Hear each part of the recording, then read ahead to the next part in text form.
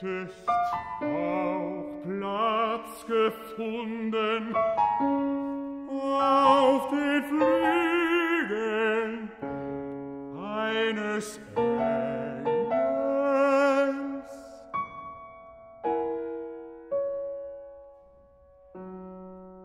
Stattdessen bist du am Wasser gestrandet leben freundliche Trattoria. Dort gibt es Sardinen, sauer eingelegt in Zwiebeln, Rosinen und Pinienkernen. Manchmal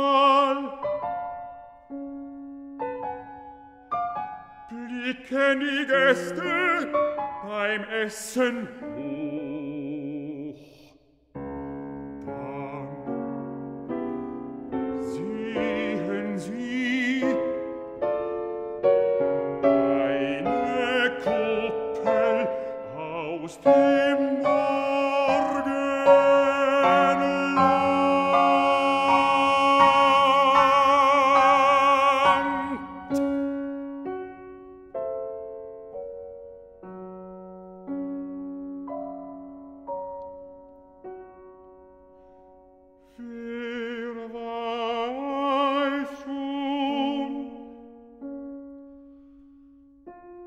dass die vierzehn Stufen von Santa Maria de Miró